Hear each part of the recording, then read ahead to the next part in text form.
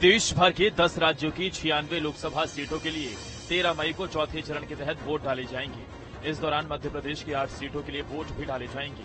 चौथे चरण में मध्य प्रदेश की जिन लोकसभा सीटों के लिए वोट डाले जाने हैं, उनमें इंदौर, देवास, उज्जैन, मंदसौर, रतलाम, धार, खरगोन, खंडवा लोकसभा सीट शामिल है।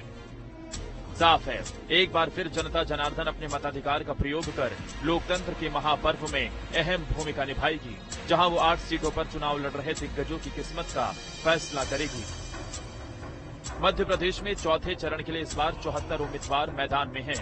इनमें उनहत्तर पुरुष और पाँच महिला उम्मीदवार हैं वहीं छह सांसद और एक पूर्व केंद्रीय मंत्री भी मैदान में हैं। वहीं प्रदेश में तीन हज़ार अस्सी मतदान केंद्र, संवेदनशील और तिरपन केंद्र अति संवेदनशील हैं इन आठ संसदीय क्षेत्र में जो कैंडिडेट्स लड़ रहे हैं टोटल जो अभ्यर्थी हैं कंटेस्टिंग कैंडिडेट्स ये 74 हैं, जिसमें 69 पुरुष हैं और पाँच महिलाएँ हैं।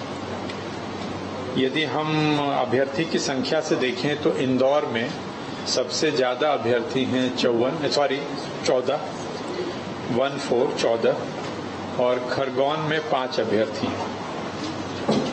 मतदान का समय, जैसा आप जानते हैं कि जैसे पहले था, सात बजे से लेकर के छह बजे तक है। चौथे चरण की आठ लोकसभाओं में सुबह सात बजे से शाम छह बजे तक वोटिंग होगी, जहाँ एक करोड़ तिरसठ लाख वोटर अपने मताधिकार का प्रयोग करेंगे।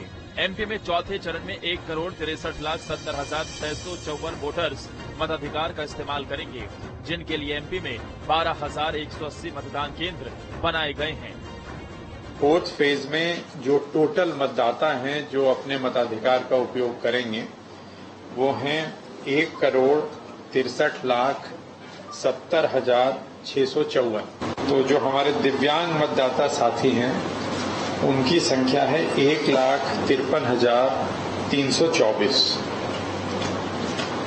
जो 85 प्लस के मतदाता हैं, पचासी साल से अधिक उम्र के जो हमारे बुज़ुर्ग मतदाता हैं, उनकी संख्या है सत्यासी हज़ार नौ सौ उन्यासी। साफ़ है। चौथे चरण के लिए एक बार फिर चुनाव आयोग और मध्य प्रदेश की जनता तैयार है और इस चरण के साथ ही 24 का रण भी खत्म हो जाएगा, जिसके साथ ही शुरू हो जाएगा चार जून का इंतज़ार, जब जनता का फैसला सभी के सामने आएगा। Team news state.